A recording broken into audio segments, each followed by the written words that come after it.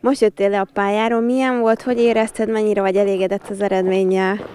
Köszönöm szépen, nagyon jól éreztem magam, csodálatos a, a környezet, rendkívül jók a korongok. Igazából egy közepes eredményt sikerült elérnem, amivel most elégedett vagyok.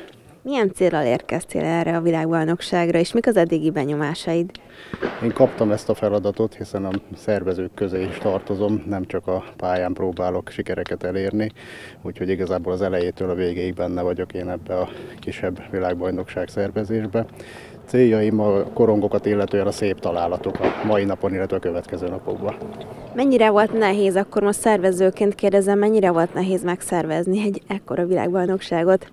Hát ez egy óriási csapatmunkának az eredménye több mint 150 kollégám és még egy 50-60 külső segítő dolgozik azon, hogy itt a több mint ezer lövő a négy nap alatt teljesen jól érezze magát. Mennyire tudod összehangolni a versenyzést a szervezéssel? Délelőtt szervezek, és amikor lőni kell a pályára lőni, akkor kijövök lőni, és annak örülök, ha tényleg szépen eltalálok egy korongot. De eddig sikerült összeegyeztetni.